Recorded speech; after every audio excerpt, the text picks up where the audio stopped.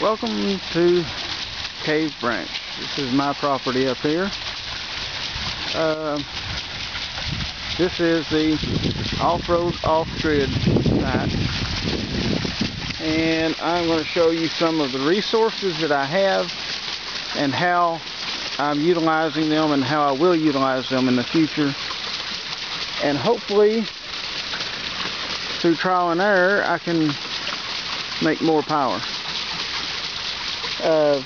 This house is totally off the grid and it is most definitely off-road because as you can see that is a creek and that is what we drive through to get up here. And no wires running to the house uh, no transformer. That is the end of the civilization right there. It comes in from that way. And once they get to here, they stop. And we don't take anything off of that line.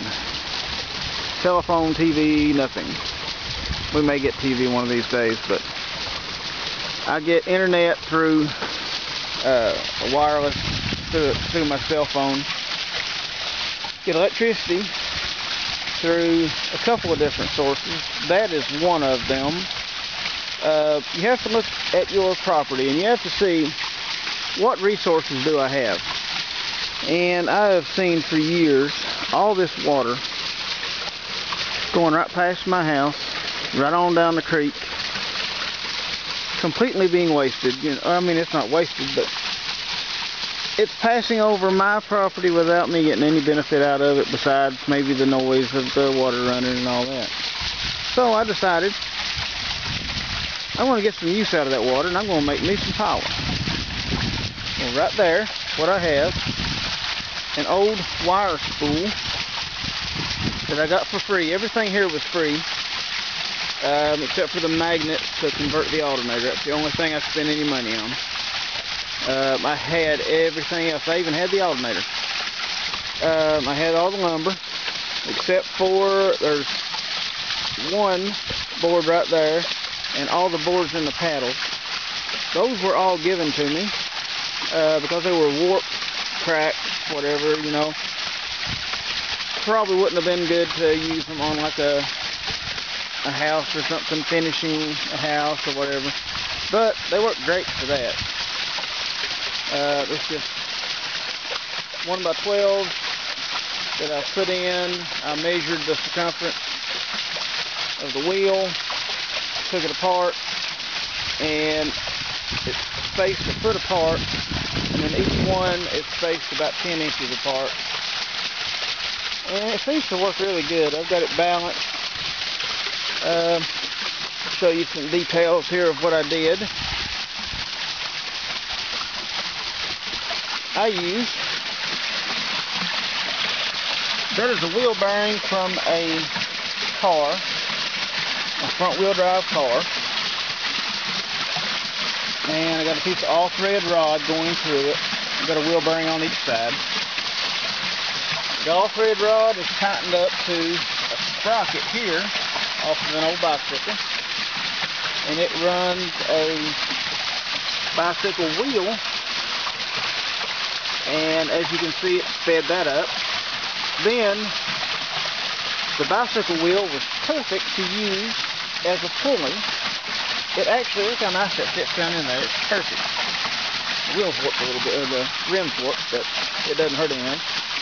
And then that goes to an alternator. Now this is not just a standard car, well it is a standard car alternator. It come off a Cavalier but it has been converted. It's now a permanent magnet alternator. As you can see, there's only the two wires, one going to the hot terminal and one going to the ground, but it's nothing going to the field because there's no brushes in it anymore. Uh, I just pulled out the rotor and uh, I'll show you how I did all that later on. But I'm surprised at how well it works. Let me see. I'm going to try to do this with uh, one hand here. without getting uh, meter wet. Okay, I'll hold the meter up there. Let's see if I can get a shot of the meter. Okay. Now, if I touch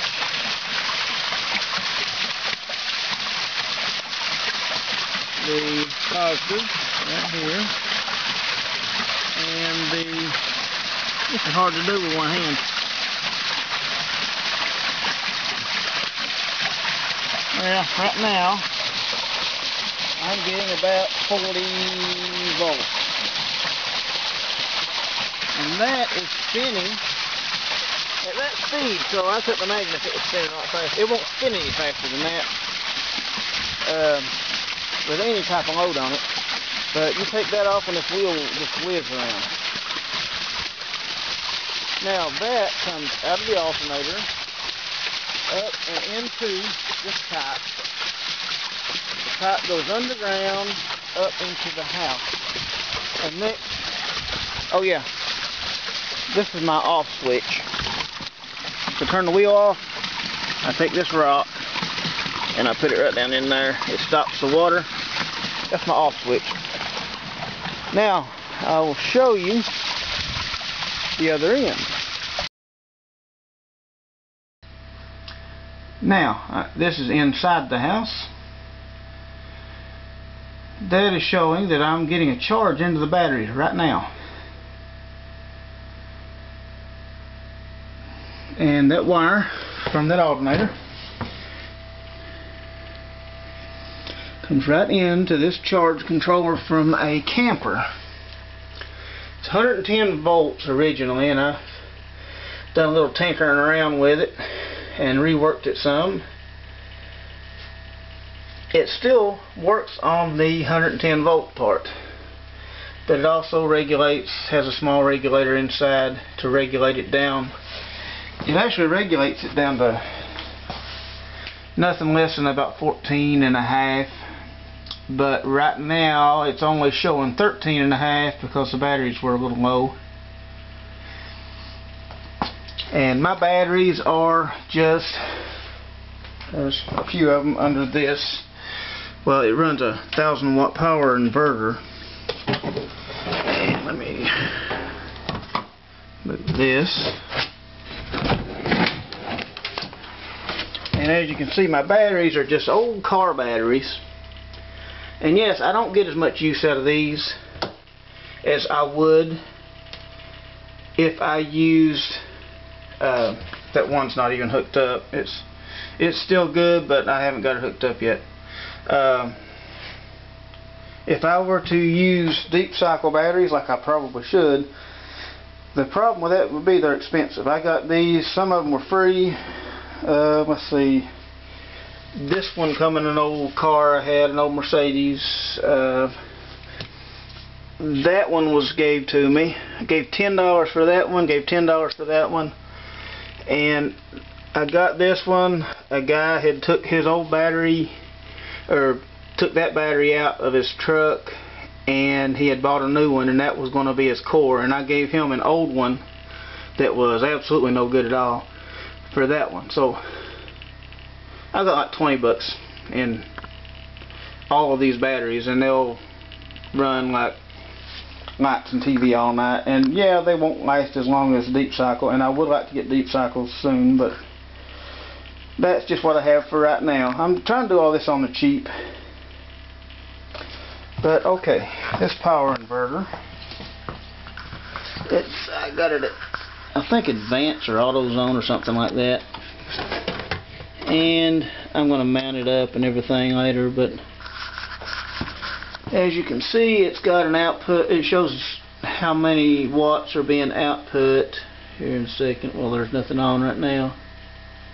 And it shows you how many volts you have going into it.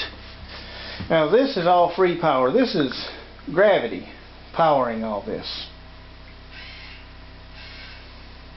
Just the flow of water is powering this inverter giving me 110 volts through these batteries and I mean, to me that's kind of amazing. You know, I'm getting this for nothing.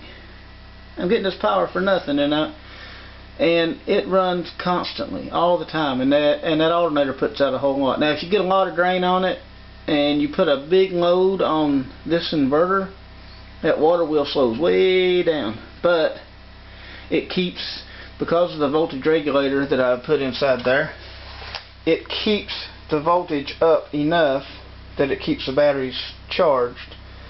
Unless, of course, it completely stops, which it has done before. That's why I need more power sources. Now, I need to go through and do a list of the different resources that are on this property.